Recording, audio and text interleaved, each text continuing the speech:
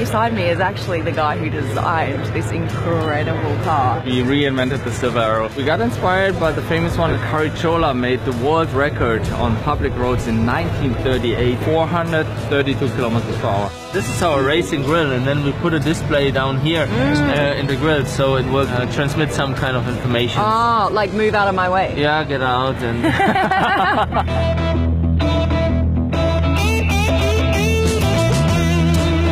I get in? Can I see Uh, it briefly? yes. I've got a dress on.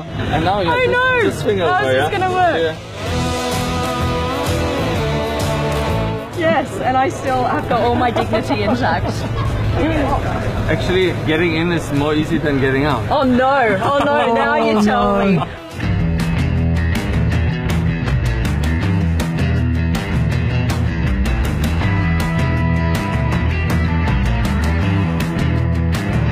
Plus is, is uh, Plus is acceleration and minus, minus is brake. Right, Okay, yeah. cool. See, you That's can so even drive it cool. with high heels. Oh It's my awesome, God, yeah. Look how easy this is. We made some virtual features. See, um, the whole uh, cluster, the steering wheel has a touchpad and then there's a display.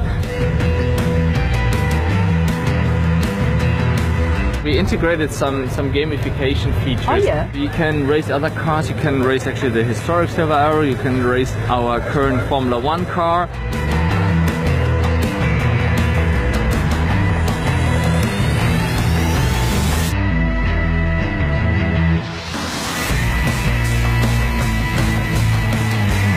They said that getting out is more difficult than getting in, and um, I think we need some kind of a curtain put up.